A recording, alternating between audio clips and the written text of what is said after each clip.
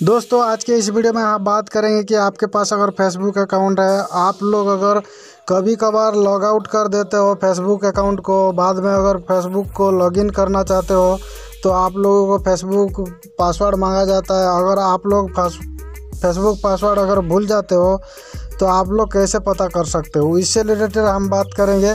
तो वीडियो को आगे में बताएँगे वीडियो को पूरा वॉच कीजिएगा।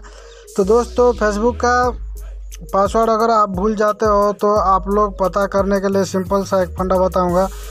सपोज़ मैं यहाँ पर इस फेसबुक को मैं लॉग लॉग आउट कर देता हूँ यहाँ पर।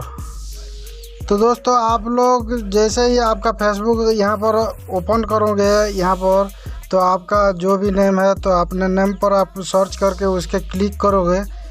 तो यहाँ पर क्लिक करने के बाद आप लोगों को पासवर्ड मालूम होना चाहिए।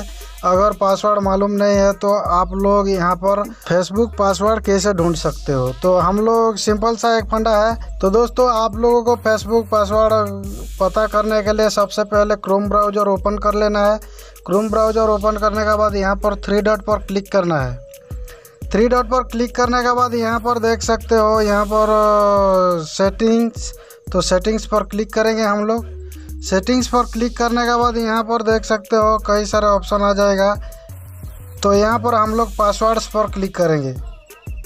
पासवर्ड पर क्लिक करने के बाद यहाँ पर देख सकते हो अमेजोन जो भी आपका जितना भी पासवर्ड है तो यहाँ पर आप लोगों को पासवर्ड दिया जाएगा। तो आप लोग यहाँ पर फेसबुक पर क्लिक करेंगे। फेसबुक कर क्लिक करने के बाद आप लोगों को ये पेज ओपन हो जाएगा। यहाँ पर देख सकते हो, ये मेरा नंबर है, जो भी अपना पर्सनल नंबर है। तो यहाँ पर उसका नीचे पासवर्ड लिखा आ रहा है।